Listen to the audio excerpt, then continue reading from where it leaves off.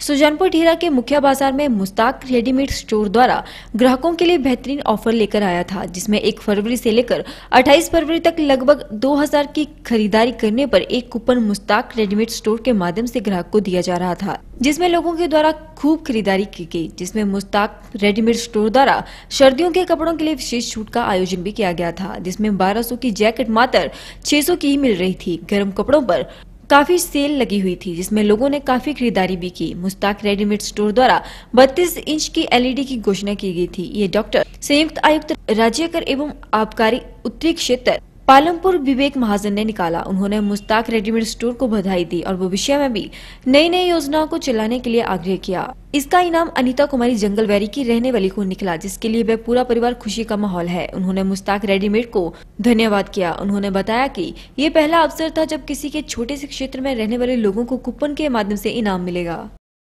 Mushtaq readymade store के माध्यम से मैं आप सभी को सूचित करना चाहता हूँ हमने ये इनाम 32 इंची एलईडी जो मिस अनीता देवी, जंगल वैरी से जिन्हें दी जा रही है, उनको बहुत बहुत शुभकामनाएँ।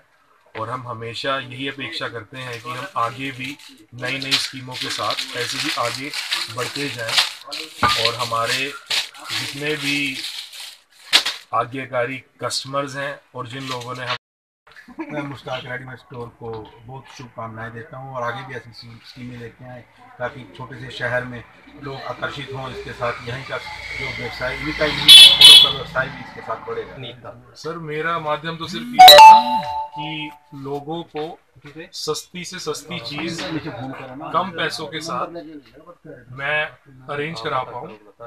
और मेरा सिर्फ़ इनोवेशन यही है हर किसी के लिए कि नई नई टेक्निक्स के साथ नई नई चीज़ों के साथ आगे बढ़े और अपने काम को जितनी तेज़ी से आगे लेके जाए उसी में